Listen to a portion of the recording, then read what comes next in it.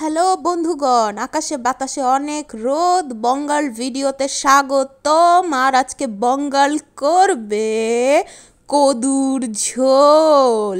চলুন দেখে নেওয়া যাক কদুর ঝোল করতে কি কি লাগছে। কদুর ঝোল করতে অবশ্যই কদু লাগবে, কদুর সাথে আলু লাগবে, মরিচ লাগবে, পেঁয়াজ লাগবে। এই তো আলু, এই তো কদু, একটু চিংড়ি মাছ, একটু ডাল, টমেটো ধনে পাতা পেঁয়াজ আর মরিচ। চলুন দেখে নেই কদুর ঝোল।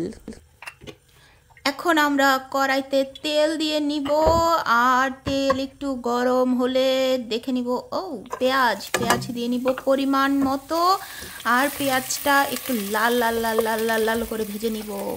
লাল লাল করে ভাজতে ভাজতে দিয়ে দিচ্ছি আদা, রসুন বাটা আর তাও একটু ওরে বাবারে কি যুদ্ধ শুরু হয়ে গেল। ঠাস ঠুস ঠাস ঠুস ঠাস ঠুস। একদম সেই পলাশির যুদ্ধের মতো যুদ্ধ হচ্ছে। আমার রসুন আদাগুলো একটু ই ছিল ঠান্ডা ছিল। দিয়ে দিলাম একটু পানি যাতে একটু যুদ্ধ কমে। আর যুদ্ধ একটু কমে গেলে পানি রসুন আদা বাটা আর পেঁয়াজটা একটু কষাইতে থাকব। কষাতে কষাতে দিয়ে দিচ্ছি একটুখানি লাল মরিচের গুঁড়া। আর লাল মরিচের গুঁড়া বেশি করে একটু দিলে খারাপ হয় না? আচ্ছা দিয়ে দিলাম লাল মরিচের গুঁড়া। এবার দিব হলুদ। একটুখানি হলুদ গুঁড়ো দিয়ে দিচ্ছি, হাফ টিস্পুন। দিয়ে দিলাম কোরিয়েন্ডার পাউডার একটুখানি। আর তারপর দিব একটুখানি কিউমেন পাউডার মানে জিরার গুঁড়া। ব্যাস, এইবার মশলাটা একটু টুসুস টুসুস টুসুস করে কষিয়ে নিব। আরে মশলা, তাড়াতাড়ি হও হও হও হও। হচ্ছে আমার মশলা। হচ্ছে একদম মাখা মাখা মাখা মাখা করে নিচ্ছি। মশলা কষিয়ে এবার আমার বেছে রাখা চিংড়ি মাছগুলো দিয়ে নিব। চিংড়ি মাছগুলো দিয়ে আবারও মশলাটা কষে নিব।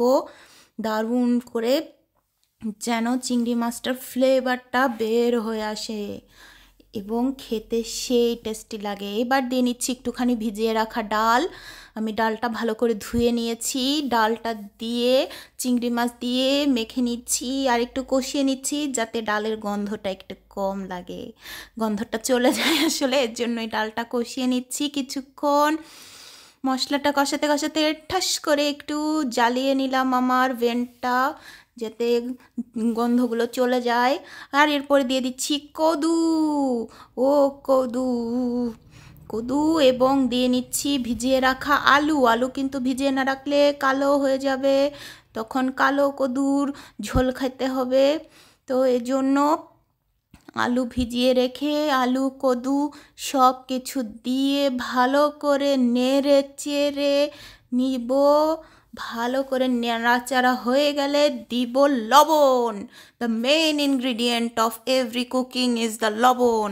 ভালো করে লবণ দিবেন, লবণ না হলে খাওয়া যায় না, আবার বেশি হলেও খাওয়া যায় না।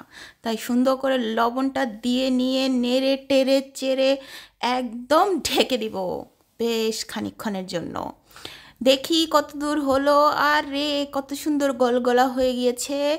আরও অনেকক্ষণ হবে, আশা করি একটু নেড়ে চেড়ে দিচ্ছি খুলে। এখনও হবে নাচছি একটু নেড়ে চেড়ে। একটু পানি দিলে কেমন হয়? যেহেতু লাউয়ে পানি উঠতেছে না, একটু পানি নিয়ে দিয়ে দিলাম। এখানে পানি একদম ভালো, তাই কলের পানি দিয়ে দিলাম। আবার অন্যরা অন্য কিছু মনে করেন না, কেন সরাসরি কলের পানি দিলাম? এখানকার কলের পানি খাই আমরা। এরপর একটু দিয়ে নিব টমেটো কুচি। স্বাদের জন্য হাতটাও একটু ধুয়ে নেই, টমেটো লেগে গেছে। তারপর টমেটো দিয়ে একটু নেড়ে চেড়ে দিব।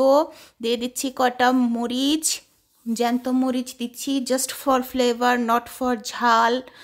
দিয়ে নিলাম। এবার দিয়ে নিব একটু ধনে পাতা কুচি।